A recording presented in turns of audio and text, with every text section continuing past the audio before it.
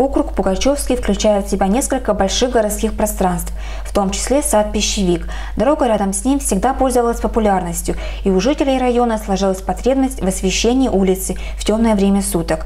Для решения проблемы линия освещения была проведена вдоль сада Пищевик до поселка Новосельский. В поселке Новосельские защебнена улица Паркова частично, также улица Цветочная, улица Пальшиной.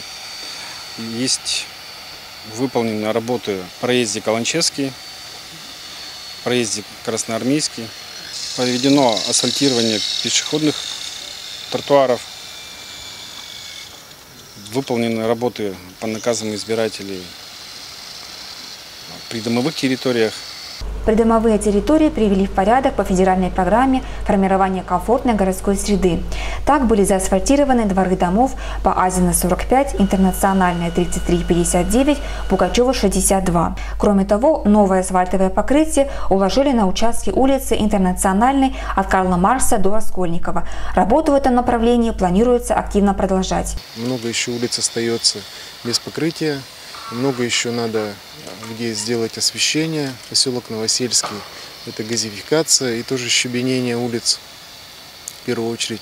Водопроводы на части улиц нужно делать. Э, жители одни не справятся с этим вопросом. Большое внимание в округе уделяется социальной сфере. Лагерю «Орленок» оказали помощь в ремонте бассейна, укладке покрытия для спортивной площадки и устройстве эстрады. Значимым событием стало продолжение и расширение лыжной трассы в текущем году. С предпринимателями расширили светлую лыжню в этом году, благодаря чему можно будет проводить тренировки э, на широкой трассе с освещением. Приезжал глава республики совсем недавно. Мы проговорили с ним проблему того, что тренировки должны быть круглогодичные. И нам для города нужно построить спортивный объект, лыжную базу. В настоящее время в округе возникла необходимость в ремонте дороги по улице Пролетарской, ведущей к обновленному в городе пространству Ленинскому парку. Этот вопрос будет решаться совместно с Министерством транспорта и дорожного хозяйства республики.